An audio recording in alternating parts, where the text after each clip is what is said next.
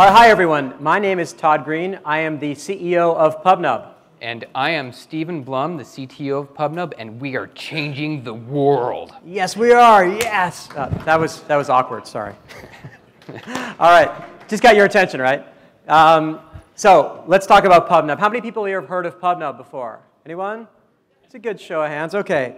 Um, so PubNub is democratizing real-time applications. Uh, we are letting people connect everyone, everything, every device in the world in under a quarter of a second. What does that mean, and how do we do that? So PubNub provides two services, two main services in the cloud. One of them is called PubNub Galaxy, and the other one's called PubNub Pulse. Let's talk about what these things do. Galaxy is a multicast service. You publish data into the cloud, a small packet of data. It may be a chat message, it may be a, a game update, maybe a, a signal for, for, to a machine. And any other device in the world subscribing to that channel, think of it like a radio channel, receives that data in a quarter of a second or less. People are using PubNub Galaxy for a wide variety of applications, from multiplayer games to um, sports updates like Euro Cup 2012, where they used PubNub to provide updates to 800,000 people synchronously during the game, or during the 31 games. PubNub Pulse is a unicast service. Similarly, we connect millions of devices, keep sockets open to them, so you can push information to them when you need to very fast. Customers include people like Rebtel, the second largest voice over IP company in the world, who are using PubNub to make telephones ring, hang up, dial, and other control signal protocol types of messages. In fact, they've replaced some of what SIP does with PubNub. Why? Because it's globally scaled. We're in 10 data centers. Um, we support every kind of device you can imagine, from desktops to phones to browsers and, and lots of other servers. Um, and it's very cost effective. Now, once you've got this messaging in the cloud and you're sending your data through PubNub, we provide a set of services that provide extra value aside from just getting data quickly from point A to point B. Some of those services include presence. So who's on the channel? Who's listening to me? Who's there? I want to know who's listening to this channel. Um, analytics, real-time analytics. Not what happened yesterday or five minutes ago, but within a half a second of someone listening to a message, you get it on a dashboard. Um, storage and playback of those data streams. Either like, kind of like think of a data stream like a TiVo where you can play back that stream. Security, support for mobile, and uh, different kinds of routing and filtering. So you provide all these extra services around this um, PubNub real-time service. As I mentioned before, we're in 10 data centers. We support every kind of, um, every kind of device you can imagine, every kind of programming language. Uh, we are basically providing a, you know, five nines SLAs. We've got 2,000 or more customers. We're doing on a slow day 10,000 messages a second through the system, peaking at over a million, actually close to two. And we, like I said, we run everywhere. Let's talk to you a little bit about WebRTC Data Channel. So what is it? Well, it pretty much doesn't exist yet, though we did see Mozilla talk about it earlier today.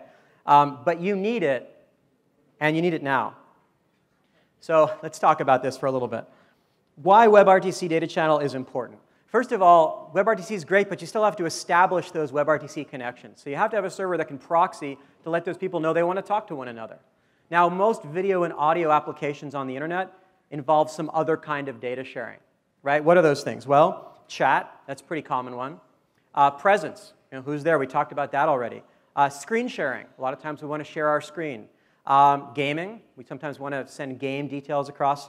Uh, we talked about analytics before. We sometimes want to know what's happening. And lots more, lots of other kinds of collaborative applications that want to take the video and audio part of WebRTC, but provide a data channel to send other kinds of data along with that video and audio stream. All right? And PubNub delivers a data channel today in over 40 different client libraries in any programming language we provide a simple publish and subscribe API. And every developer can take this, download it, plug it into their applications, and immediately you're doing whether it's peer-to-peer -peer connectivity or one-to-millions connectivity. And what's cool about this is with PubNub, we protect you from all these different protocols. So when WebRTC becomes available on the device and you're doing peer-to-peer, -peer, we use WebRTC. But when it's not available, we fall back to other protocols.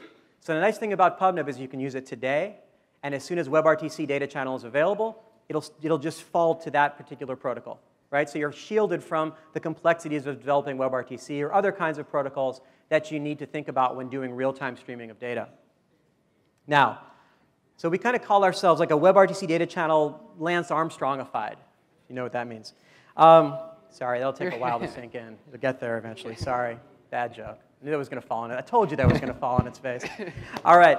Um, so when we, when, we, when we do this, you can see that, you know, as in the diagram there, the clients are talking to each other, WebRTC, but you can still have a back channel of information. You're sending data back to the cloud. Now, why would you want to do that? Because we know in the real world, it's not often just about peer-to-peer. -peer.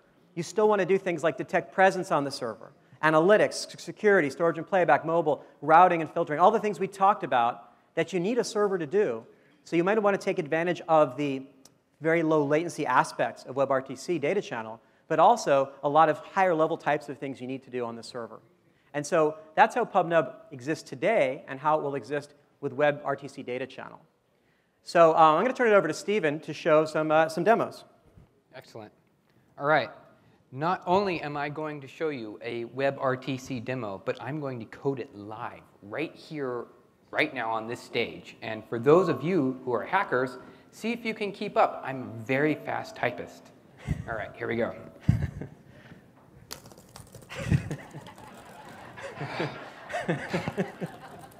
uh, done.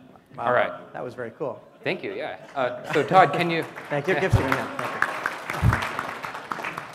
All right, can you uh, load this up on your? It works on, it's on the internet already. Wow, that's. Yeah. Let, let, me take a look here. Let me. Um, wow, did you just do that? Yeah, I just did that. Yeah, check that out. Look at that. It's amazing. Yeah. Wow. Okay. All right, cool. So, um, what's what's your phone number? Uh, it says here seven five eight four. So right. you know, Stephen did this all in HTML5. There's no images except for that tiny little phone icon. He's going to dial um, my, my, my phone here. He's not going to actually make a call, but simply trigger my device to start calling. And you can see that immediately within just literally about a tenth of a second, we initiated a, a, a, phone call. We basically initiated a call signal. This is what's not only going on in a demo, but companies like Rebtel are doing with a large user base today in production. All right? Let's, let's go beyond that, though. What else did you code up while I was standing here? Oh, yes. While you were standing here, I don't know if you noticed, but I created another demo. Well, that's, that's cool. Yes. And the tab's already open to that, too. Yeah, there we go. Check right, it out. Cool. So with this demo, when you're doing video and voice, you might want to do more than just that on the side. You may have seen some of the demos that were going on here today. They were mostly about the video.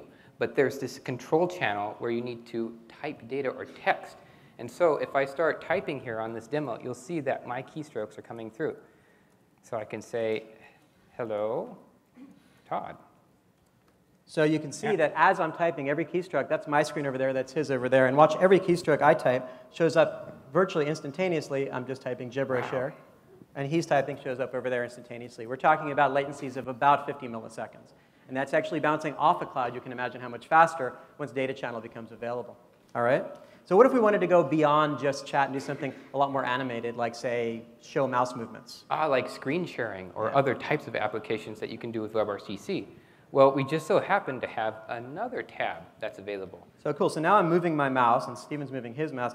And as I type, I can actually change my text, and, and I can move it. And so not only am I sending keystrokes now, but I'm sending mouse coordinate left and right, you know, x and y coordinates um, through the same data channel. Once again, if you use PubNub, it's going to work today flawlessly. We've been around for years, and we have 2,000 customers. And when WebRTC comes out with the data channel, immediately will be even faster. All right? And how about one more thing? What if I want to just share any kind of content? Any kind of content? Any kind of You're content. crazy. All right, let's go over to that. Check that out. We've got 39 seconds. Let's do it. All right. So if you want to send an image or a video, simply use PubNub, and it will send the image very quickly. Uh, with our data channels, you can send more than that. You can send videos as well. well I was going to send you a video. Oh, okay, sure. Send me another. There we go. Yeah. So this is the PubNub theme song. We actually have lots and lots of people who listen to this song and uh, actually over 100,000 views. We have a good time working at PubNub, if you can't tell. We're kind of geeks, but it's fun. Um, anyway, finally, what else do we have? All right. Can send any other type of data that you need just uh, uh, beyond the call with WebRTC data channel. You can send uh, anything, and it's ready right now.